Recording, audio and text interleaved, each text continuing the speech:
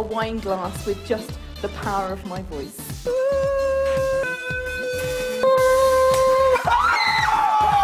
Smashed it.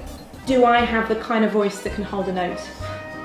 Well, I think that's obvious already. But I can prove it using this spectrogram.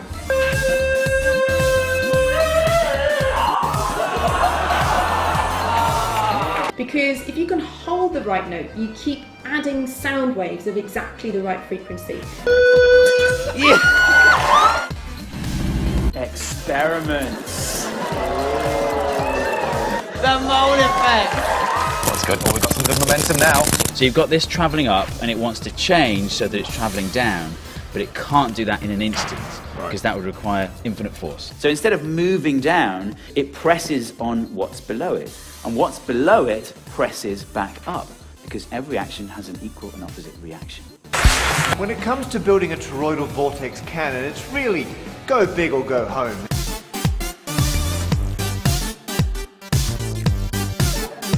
Relax.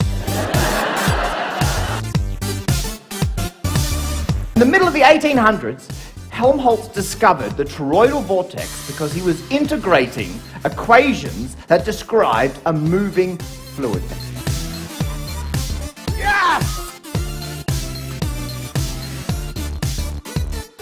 230 volts and a pickle.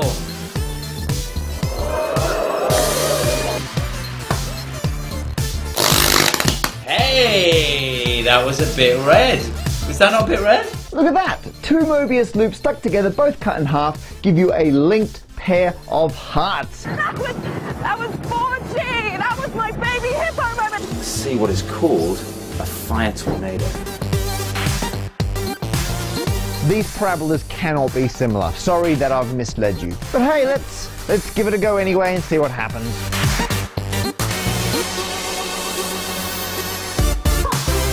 Yeah, yeah, it's nice.